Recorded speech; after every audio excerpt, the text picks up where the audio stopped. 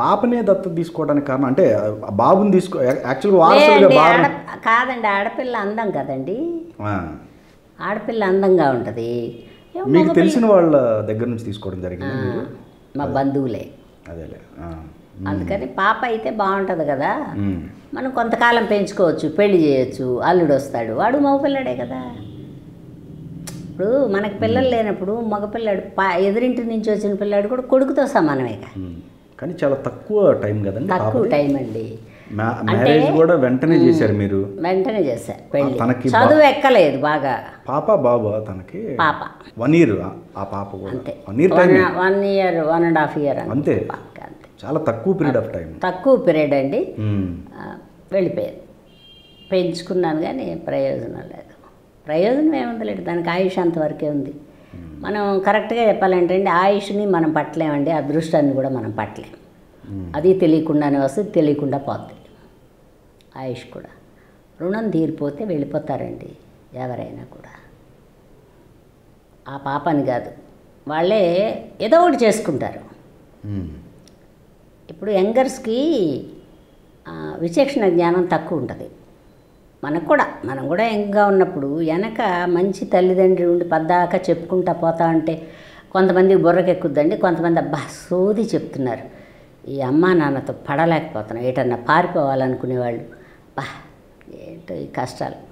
చచ్చిపోవాలనుకునేవాళ్ళు. ఇట్లా అంత హార్మోన్స్ చేంజ్లో కూడా వస్తుందండి. బట్ నా బిడ్డకి ఆయుష్ అంతవరకే ఉండి ఉంటుంది మీరు అన్నీ తీర్చారండి నేను నా తప్పు లేకుండా అండి నేను చేయగలిగిన వరకు చేశాను. వెళ్ళిపోయింది మీ సైడ్ అయితే ఏ విధమైంది లేదు. నా సైడు అంటే. ఏమండి దోషి. దోషిగా నిలబెట్టే వాళ్ళు ఎవరన్నా ఉంటే మనం ఏం చెప్పలేము ఆవిడ కూడా ఏమన్నా అలా నేను ఫీల్డ్లోకి తీసుకురావాలని అయితే అనుకోలేదండి. వేషాలు వేయించాలనుకోలేదు ఎందుకు అనుకోలేదంటే మేము వచ్చిన కాలం వేరే నేను తీసుకున్న డెసిషన్ వేరే. ఇప్పటి పిల్లలకి ఇప్పటి కాలానికి ఎందుకు మా పాప నేరుగా వెళ్ళి నేను సంపాదిస్తున్నాను కదా? దానికి ఒక కట్న కానుకలు ఇచ్చి పెళ్ళి చేస్తే అది చక్కగా కుటుంబం. చదువుకోమన్నా చదవలేదు. నా ఆశ అయితే ఒక డాక్టర్నో లేకపోతే ఒక సివిల్ ఇంజనీర్నో చేయాలనుకున్నా. ఆడపిల్ల కదా బాగుంటుంది ఒక గైనకాలజిస్ట్ అట్లా అనుకుంటే. చదువు టెన్త్ వరకు చదివింది కానీ అవతల చదువు ఎక్కలేదని సరే ఏమ్మా చదువు ఎక్కట్లేదు నీకు? పోనీ పెళ్ళి చేసేయనంటే చేసేయంది ఓ పెళ్ళికి ఇష్టపడుతుందేమో మనసు అని తర్వాత నేను కూడా సినిమాలు బిజీ కదండి. సినిమా వాళ్ళ పిల్లలంటే తొందరగా ఎవరో ఒకళ్ళు మోసం మాటలు చెప్తారు. ఆ చిన్న వయసులో వినేస్తారు. అదొక భయం ఉండింది నాకు.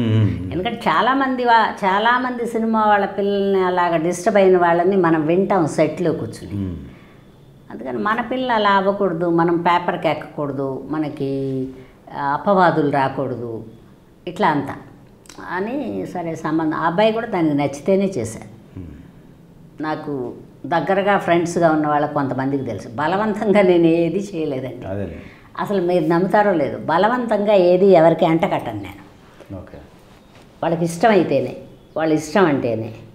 తర్వాత బా నేను వేషాలు కూడా ఎవరిని అడగను. వాళ్ళు పిలిస్తే వెళ్తా. నా వర్క్ వరకు నేను నా ధర్మం నేను నిర్వర్తించి నాకు ఇచ్చే డబ్బులు నేను అడిగి తెచ్చుకుంటా. బయట చేయి చాపే అలవాటు లేదండి ఎవరిని ఇస్తానన్నా నేను తీసుకోను. నేను పని చేసి నా ప్రొడ్యూసర్ దగ్గర డబ్బులు అడుగుతా. వేరే వాళ్ళ దగ్గర కంప్లైంట్లు కూడా ఉండవు. ప్రొడ్యూసర్ని అడుగుతాను వెళ్ళి. నాకు ఇంత ఇచ్చారండి మీ మేనేజరు మరి మీకు తెలుసో లేదు. అప్పుడు కొంచెం క్యాష్ కొంచెం చెక్కులు ఇచ్చే రోజులు చిన్న మతలబ్బులు ఏమన్నా జరుగుతాయని నేను ఏదన్నా ఒక రోజు ప్రొడ్యూసర్ అలా కూర్చున్నప్పుడు రెండు నిమిషాలు మాట్లాడతా అండి అని. ఆ చెప్పమ్మా అనేవాళ్ళు. నాకు ఇలా ఇంత ఇచ్చారండి ఇంత మాట్లాడారు. మీకు తెలుసో లేదో నాకు ఇంకా ఇంత రావాలి. అంతే. అదే. అట్లా. అట్లా కొంచెం నాకు అలవాటు. రైట్. నేను ఇంట్లో కూడా అలాగే ఉంటా. అంటే ఈ ప్రేమ కాకరకాయ ఇవన్నీ నేను ఒప్పుకొని. నాకు ప్రేమ కొంచెం తక్కువ. అన్ని విషయాల్లోనా? ఏ విషయమైనా సరే అండి. ప్రేమించడం కాదు. మన బాధ్యత అనుకుంటాను నేను. ఓకే. ఇప్పుడు మీరు నాకు పని అప్పచెప్పారు అనుకోండి ఇది నా బాధ్యత. అంజి గారు మనకు అప్పచెప్పారు. ఇది మనం సక్రమంగా చేసి ఆయన మాట పడకుండా వెళ్ళిపోవాలి అది. ఓకే. ఇంట్లో కూడా నేను ప్రేమలు అని నేను చిన్న ప్రేమ ఉంటుంది అనుకోండి తోడబుట్టిన వాళ్ళని ఏదో కడుపును పుట్టిన వాళ్ళు ఉంటే ఓ విపరీతమైన ప్రేమలు తక్కువండి నాకు. డ్యూటీ మనం మన పని చేయాలి వాళ్ళు వాళ్ళ పని చేయాలి. మనం సంపాదించేస్తున్నాం చదువుకోవాలి వాళ్ళు. అది వాళ్ళ బాధ్యత. వాళ్ళకి ఏం కావాలో చూడటం మన బాధ్యత. అది. అందుకని ఏంటంటే తొందరగా అతకారు నాకెవరు. అలా మీరు అంటే కొంతమంది జీవితంలో నటిస్తారండి. జీవితంలో నటన వేస్ట్ ఏమో. ఇష్టం లేకుండా కొంతమంది ఆడవాళ్ళు కష్టపడుతుంటారు. చాలా ప్రేమ ఉన్నట్టు మాట్లాడడం అవి అవి నాకు చేత కాదు ఓకే ఓకే. తెలిసిన వాళ్ళైనా కూడా ఏంటమ్మా మా అక్కడ దాకా వచ్చి రాలేదంటే మీ ఇంటికి రాలేదండి వాళ్ళ ఇంటికి వచ్చాను. నాకు ఇలా అలవాటండి. అంటే నేను నా లైఫ్ అలా వెళ్ళిపోయింది? ఎవరు అలా చెప్పిన వాళ్ళు లేరు. మా అమ్మగారు కూడా కొంచెం చండశాసనరాలు అలాగే ఉండేది. అందుకని గీత మీద రీజన్ ఏంటండి? ఆ పాప అట్లా చేసుకోవడానికి రీజన్ ఏంటి? రీజన్ అంటేనండి మరి వాళ్ళ ఇంట్లో ఏమైనా జరిగాయేమో నాకు తెలియదు. అది కూడా నాకేం చెప్పలా. వాళ్ళు మంచి వాళ్ళే మరి చూడటానికి. నేను లోపల దాకా వెళ్ళను ఏ మనిషిని. తర్వాత మనకి చెప్తే ఏమండి ఎందుకు ఇలా అన్నారు? ఇది మంచి పద్ధతి కాదు కదా. ఒకవేళ మీకు ఇష్టం లేకపోతే మా పిల్ల మా ఇంట్లోనే ఉంటుంది. అని చెప్పేస్తానండి. ఎందుకంటే నా పిల్లని నేను పోషించుకోగలను కదండి. కరెక్ట్ బయటకు వెళ్ళాల్సిన అవసరమే ఉంది. మ్మ్. అందుకని అది కూడా వాళ్ళ మీద కంప్లైంట్లు పెద్ద చెప్పలేదండి. ఒకటో రెండో ఏమన్నా ఉంటే మనసులో పెట్టుకుంది. పిల్లకి మాటలు రాలేదు. పిల్ల అందంగానే ఉంది కానీ మాటలు రాలా. అందుకని ఏమన్నా మగ పిల్లని కన్నా అట్లా ఏమన్నా అనేవాళ్ళు ఏమిటో తెలియదు. తర్వాత నేను చెప్పాగా మీకు రూల్స్ అండ్ రెగ్యులేషన్స్ నాకు. అక్కడ నిలబడి మాట్లాడకూడదు. ఇక్కడ అవన్నీ ఇష్టపడనండి నేను. పక్కింటికి వెళ్ళి కూర్చోటాలు. ఫ్రీడమ్ కోల్పోయామని వాళ్ళు అనుకుంటారు. జీవితాన్ని కోల్పోతారని మనం అనుకుంటాం. ఇప్పుడు మనం ఉండేది సిటీలో అండి. బోల్డ్ అని గుంపుగత్తంగా ఉండే ఫ్లాట్లో మనకు అంత ఫ్రెండ్షిప్లు అవసరం లేదు కదా. పల్లెటూరు కాదుగా. అందుకని కొంచెం నేను రూల్స్ అండ్ రెగ్యులేషన్స్. అందుకని అమ్మకి చెప్పినా వెందేమో. అనుకుందో ఏమిటో. ఓకే. చెప్పుంటే నేను బ్లంట్గా చెప్తాను మీకు ఇష్టం లేకపోతే మా అమ్మాయిని వదిలేయండి పర్వాలేదు. ఏం పెద్ద నష్టం ఉంది. మీ అబ్బాయికి ఇంకో పెళ్ళి చేసుకోండి అని కూడా చెప్పగలను నేను. ఓకే. అప్పుడప్పుడే తెంచేస్తానండి. ఏదన్నా సమస్య ఉంటే సమస్యను అప్పుడు తగ్గొట్టేస్తాను నేను. ఏమైనా సరేనండి మీరు ఇంకేమైనా ఆశిస్తున్నారా ఇస్తాను ఇట్లంతా లేదు. ఇచ్చేటప్పుడు కూడా నేను కరెక్ట్గా చెప్పాను ఏమండి నేను బాగున్నంత వరకు మా కుటుంబం అంతా ఒకటి నాకు. మా కుటుంబంలో మా అమ్మాయి ఒకటి మా అన్నదమ్ములు ఒకటి నా చెల్లెళ్ళు ఒకటి కాదు. అందరూ సమానం. నా చేతికుండే ఐదేళ్ళు ఎలాగో అలాగనమాట. అందుకని పంచేటప్పుడు అందరికీ సమానంగా పంచుతాం. ఇప్పుడు మీకు ఇచ్చేది ఇంతే. ఒక ఫ్లాట్ ఇస్తున్నాను ఒక స్థలం ఇస్తున్నాను ఇది ఒక కొంచెం డబ్బు కొంచెం బంగారం. అంతే.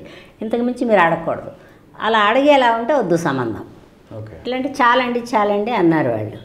బట్ మరి దాన్ని ఏమైనా అడిగారా? అది కూడా చెప్పలేదండి నాకు. మా అమ్మాయికి కూడా చెప్ మా అమ్మాయికి ముందు నుంచి పిల్లప్పటి నుంచి మరి నా మా. మెంటాలిటీ తెలుసు కదా. అది స్ట్రైట్ ఫార్వర్డ్ ఆవిడ. ఇప్పుడు మనం చెప్తే అబద్ధం అనుకుంటుంది అనుకుందో లేకపోతే చెప్పలేకపోయిందో టైం అండి. టైం అదేలేండి. ప్రాణం పోయే టైము. Right. బతికుండే టైం ఉంటే చెప్తారు. రైట్ తల్లి దగ్గర వచ్చి కష్టాలు చెప్పుకుంటారు. నేను వినకుండా ఎందుకుంటానండి వింటానుగా? అదే అవును. అది నాకు ఎప్పుడూ చెప్పలేదండి. కోపం వచ్చి కోపం ముందు నుంచి ఉందిలేండి. పిల్లప్పటి నుంచి కోపగత్తే అది ఓకే ఆ. కోపంగా వచ్చేది పోయేది. ఏదో ఏమో పని చేయమన్నారేమో పని చేత కదా మా అమ్మాయికి. మ్మ్. ఎందుకంటే మా ఇంట్లో మా అమ్మగారు ఉండేవారు. నేను ఉండేదాన్ని. మా కుటుంబం అందరూ ఎవరో ఒకళ్ళు వస్తా పోతా. మరి మా చెల్లెలు పిల్లలు తమ్ముడు పిల్లలు అందరూ ఉన్నారు కదా. ఎవరో ఒకళ్ళు వస్తా పోతా ఉండేవాళ్ళు. బిజీగా ఉండేది ఇల్లు. అందుకని దానికి పని రాదు. ఒకవేళ పని చేత కాలేదని ఏమన్నా అన్నారు. దీనికి ముక్కు మీద కోపం. ఆయుష్ అంతవరకే ఉంది. కరెక్ట్గా చెప్పాలంటే ఆయుష్ అంతవరకు ఉందండి. లేకపోతే తల్లి దగ్గర ఏమన్నా బాధ ఉంటే చెప్పుకోరండి. Correct correct. మీ నెంబరు ఆ రోజు చచ్చిపోద్ది. ఆ రోజు చచ్చిపోయే రోజు. నేను నన్ను ఎందుకే మీ అత్తగారు నెల్లూరుకు పోతున్నారు కదా ఇక్కడ పడుకోమ్మా అన్నా నేను. "ఆ, వద్దు మమ్మీ. నేను అక్కడే పడుకుంటా మా ఆయన ఉన్నాడు కదా. వాళ్ళ ఆయన రైల్వే స్టేషన్కి వెళ్ళి దింపి వస్తాడు అని చెప్పింది నాకు. "ఊ, సరే దానికి ఇష్టం లేదు. ఏదైనా ఊ అంటే ఊ. వెళ్ళిపోయింది. వెళ్ళిపోయింది. పొద్దున్నే నాకు అసలు దిక్కుతోచలేదండి చెప్తే. మ్మ్. ఏం చెప్తున్నాడని అర్థం అవ్వలేదు నాకు. ఓకే. సరే చూస్తే ఆడాడుతూ ఉంది. వెళ్ళాం చూసాం. అయిపోయింది. బిడ్డ దానికి కూడా ఇప్పుడప్పుడే ఐదేళ్ళు వచ్చేసినాయి ఆ బిడ్డకు కూడా. మాటలు వచ్చాయండి ఇప్పుడు? ఇప్పుడు ఇప్పుడు ఇప్పుడే ఏదో వాళ్ళు నేర్పిస్తున్నారు. వాళ్ళ నాన్న దగ్గర ఉంది పాప. Okay okay. నేను ఒక తొమ్మిది పది నెలలు పెట్టుకున్నా. తర్వాత వాళ్ళు ఏమన్నారంటే అబ్బాయి పెళ్ళి చేసుకున్నాడు. మా పాప మాకు కావాలంటే అన్నారు. నేను కూడా ఆలోచించా. తల్లి లేదు. నేను రేపు పెద్ద వయసు ఉంటాను ఉండను.